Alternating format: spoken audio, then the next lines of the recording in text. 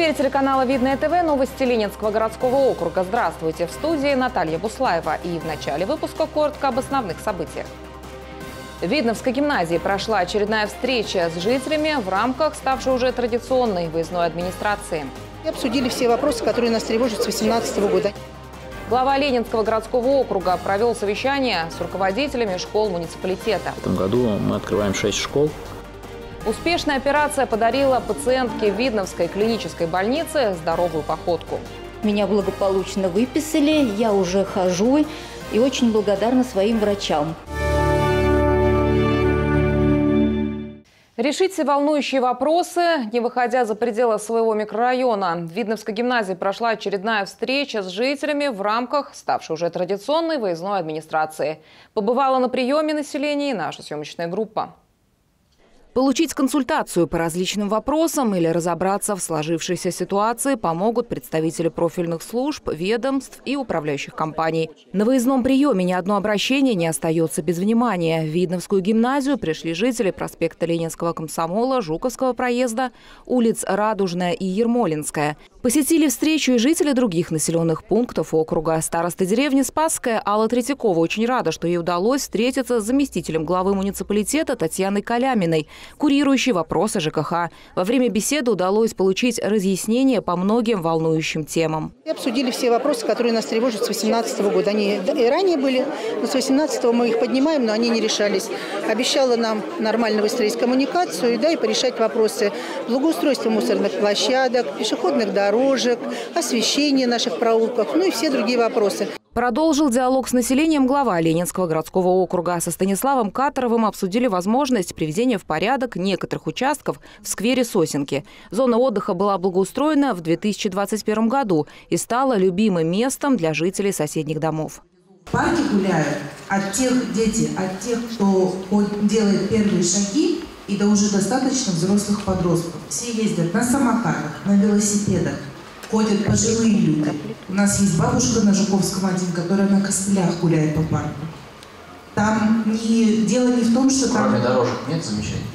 Кроме дорожек замечаний нет. Мы выйдем туда, посмотрим. И, соответственно, желательно, чтобы там был подрядчик, который эти работы выполнял.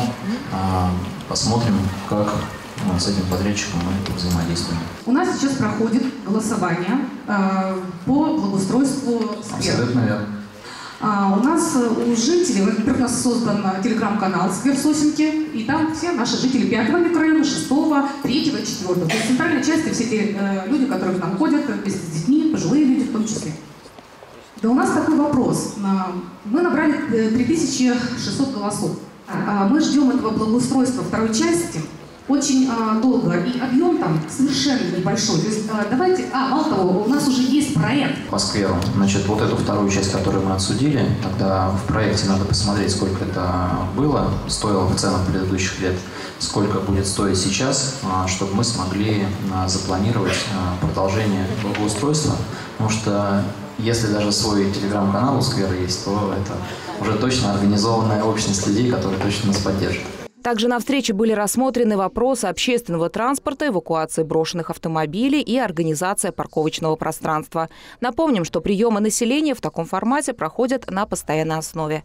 Наталья Буслаева, Александр Логинов, Гульнара Балаева, Видное ТВ.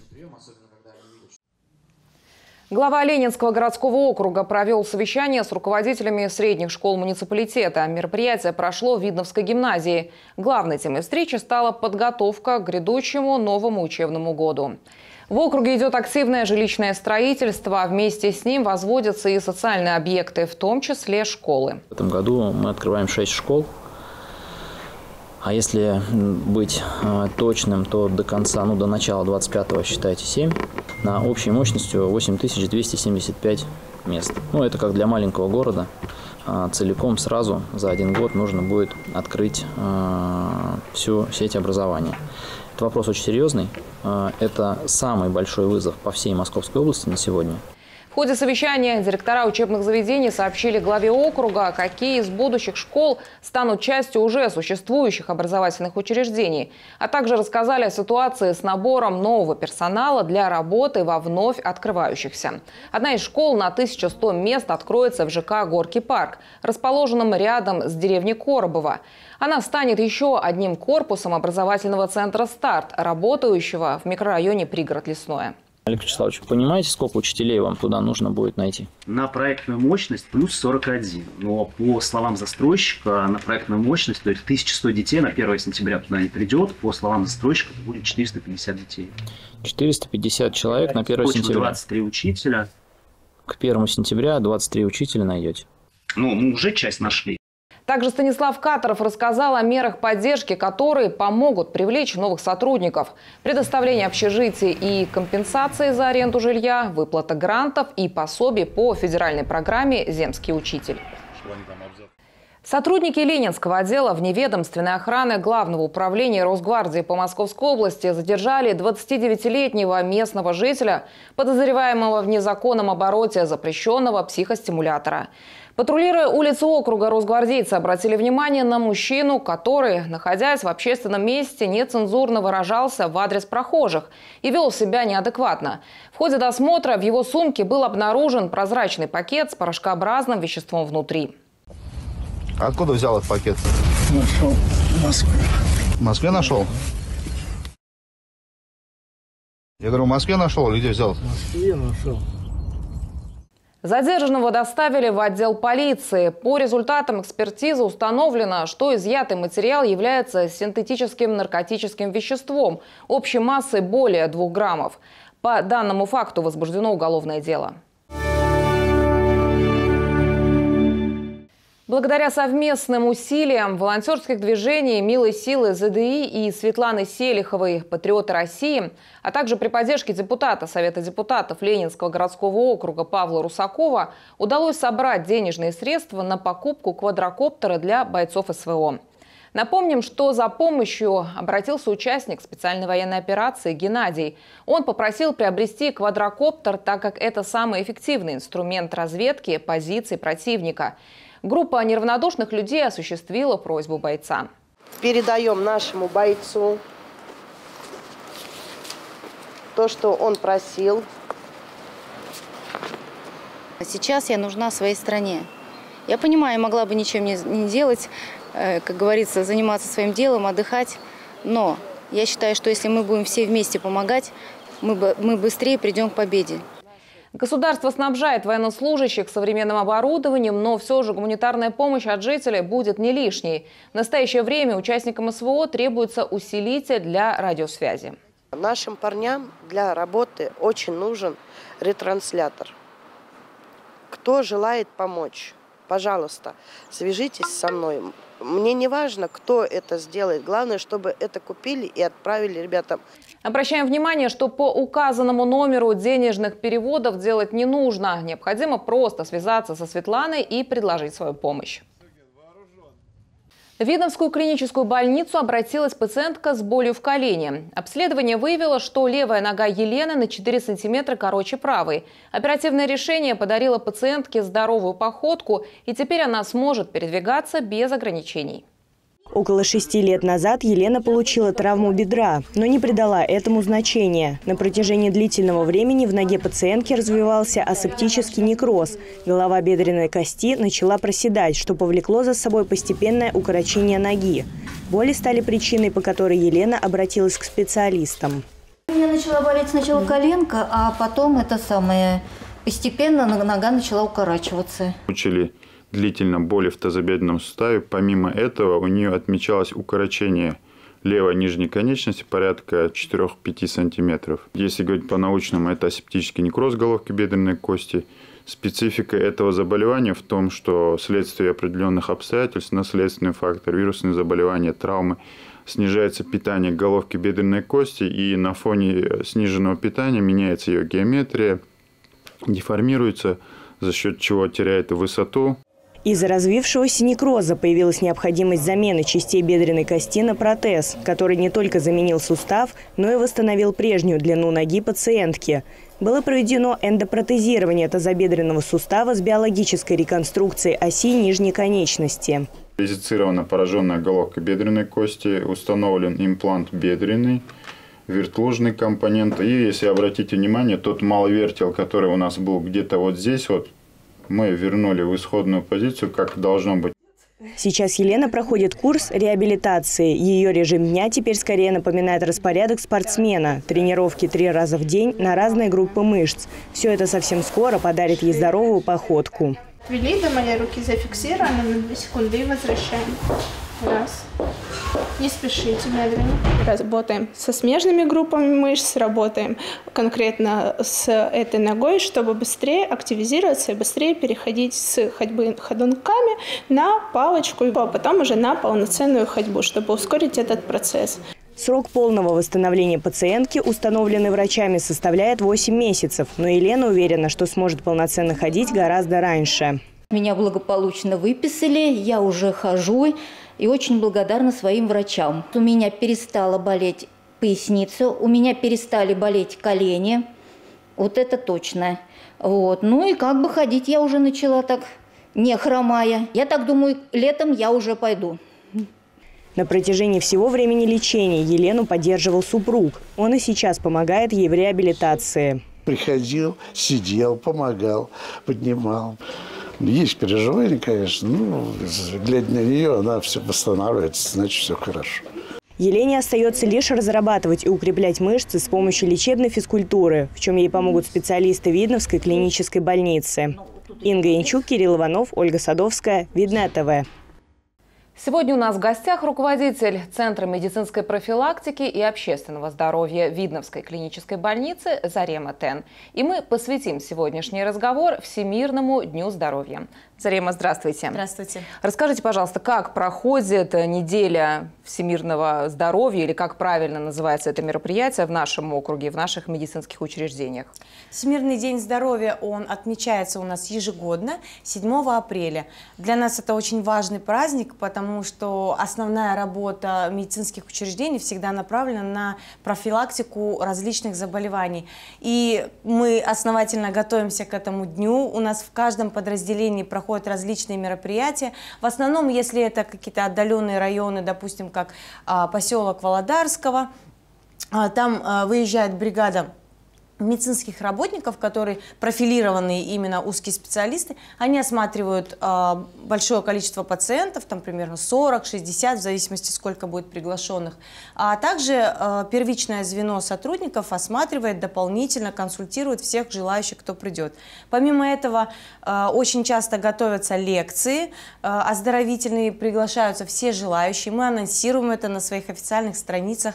Вот, например, в Горках Ленинских пройдет 5 числа лекция, в том же поселке Володарского будет 5 э, числа лекция. Э, в поселке Дрожжино, в поликлинике Южная э, будет лекция, будет небольшая, я так думаю, что физическая разминка для всех присутствующих, подарки, праздники. В детской поликлинике будет проходить большое мероприятие. Ну и помимо этого обязательно у нас всегда присутствуют спортивные мероприятия. То есть это 10 э, тысяч шагов к здоровью. Наверняка уже э, об этом многие слышали, знают. Э, число людей, которые в этом участвуют, становится гораздо больше. То есть это во всех парках Ленинского района – Ленинского городского округа. А, собираются любители здорового образа жизни, а, любители скандинавской ходьбы и идут на большую прогулку а, большой компанией. Мы их провожаем, говорим напутственное слово, благодарим их за то, что они придерживаются здорового образа жизни и вот с ними участвуем в этом мероприятии. То есть это не только в медицинских учреждениях присоединились, как я понимаю, парки, да, и даже вот Горки да, Ленинский да. музей, то есть лекции да, будут верно. проходить проходить. А на какую тему вообще будут проходить лекции? Мы всегда проводим опрос, прежде чем проводить э, тему. Мы спрашиваем в основном э, пациентов преклонного возраста, что им будет интересно. Э, большинство заявок – это факторы риска развития хронических неинфекционных заболеваний, там э, сахарный диабет, гипертоническая болезнь, э, другие заболевания сердечно-сосудистой системы. Очень много вопросов бывает по питанию, то есть каким образом питаться э, в зависимости от возраста, в зависимости от своего заболевания, э, как питаться для того, чтобы продлить свою молодость, да, вот такие вот вопросы. Э, мы всегда собираем эту информацию, подготавливаем лекции, у нас часто их читают э, именно профилированные специалисты, кардиологи, эндокринологи, врачи общей практики, терапевты. Вот не так давно мы собирались с обществом женщин России и тоже поднимали, опять-таки, этот актуальный вопрос, э, вредные привычки. То есть женщины остались довольными, мы ответили на все интересующие вопросы.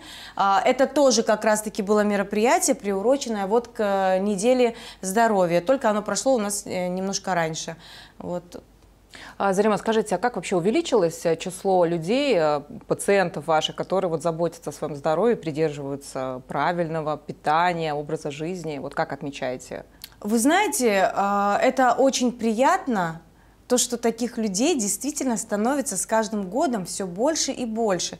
То есть а, люди, которые более старшего возраста, они пересмотрели уже свой образ жизни в соответствии со своими заболеваниями, а, с заболеваниями своих подруг, у кого-то уже после ковида не стало близких людей. И это, кстати, одно из важных моментов, а, такой важный момент, потому что очень многие люди, которые страдали хроническими заболеваниями, они в первую очередь пострадали от этого заболевания. И, возможно, сначала это был какой-то страх пациентов, что вот с ними может случиться что-то подобное, а потом уже стало образом жизни. И уже глядя на них, может быть, а может и просто веяние моды, стало популярным быть здоровым. То есть больше людей занимаются спортом, следят за своим питанием. А если ты уж слишком углубляешься, ходишь каждый день в спортзал, помимо этого усиленно напрягаешься во дворах, на, на спортплощадках, это тоже так или иначе приведет к каким-то проблемам с организмом. Не стоит. Все хорошо в меру. И вот эту меру у нас соблюдает все больше и больше людей. И это, конечно же, радует. Меня, как руководителя Центра медицинской профилактики, это точно очень радует. Спасибо большое, Зарима, спасибо за информацию. А я напоминаю, что у нас в гостях была руководитель Центра медицинской профилактики и общественного здоровья Видновской клинической больницы Зарема Тен. Ребята из театральной студии «Атмосфера» прошли отборочный этап в рамках проекта «Театральный поединок» и совсем скоро сразятся с другими командами Московской области. Но перед этим им предстоит освоить искусство импровизации. Наша съемочная группа побывала на мастер-классе юных актеров. Кастинг, встречи, соревнования с другими командами и образовательные мастер-классы от профессиональных актеров – Активные воспитанники Видновской театра студии «Атмосфера» готовы усердно учиться и перенимать опыт у профессионалов.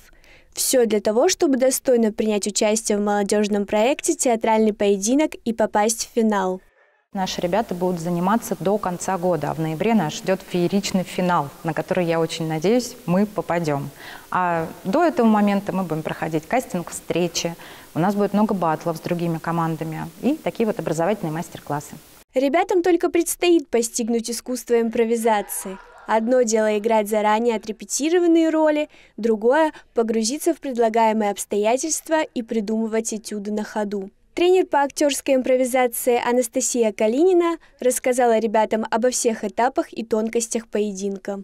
Вот они у нас разберут пять основных э, раундов, в которых они будут потом принимать участие. Это окей батл, предметный раунд, немой раунд, экспертный раунд и скульптурный раунд. Одно из заданий – предметный раунд. Ребятам нужно импровизировать с предметом, обыграть его так, чтобы зрители догадались, о чем идет речь. Такие упражнения помогают стать более раскрепощенными, быстро принимать решения в любой ситуации, учиться партнерству и взаимодействию. Мы по одному Нет, вы сразу все Вячеслав Иванов занимается в театре-студии «Атмосфера» всего год. Юный актер готов прокачивать свои творческие способности и вместе со своей командой выйти в финал. Волнение, конечно, есть, э, но я надеюсь, мы справимся, дойдем до финала, хотя бы до финала. Не обещаю то, что мы его пройдем, но надеюсь, дойдем до финала хотя бы. Уже в середине апреля у ребят состоится первый поединок с другим театральным коллективом. Всего в пятом юбилейном сезоне театрального поединка примут участие 32 команды из Московской области. Олеся Мордвинова, Алексей Астафуров, Гульнара Балаева, Видное ТВ. Это вся информация на сегодня. В студии была Наталья Буслаева. Я и мои коллеги желаем вам только хороших новостей. Всего доброго и до свидания.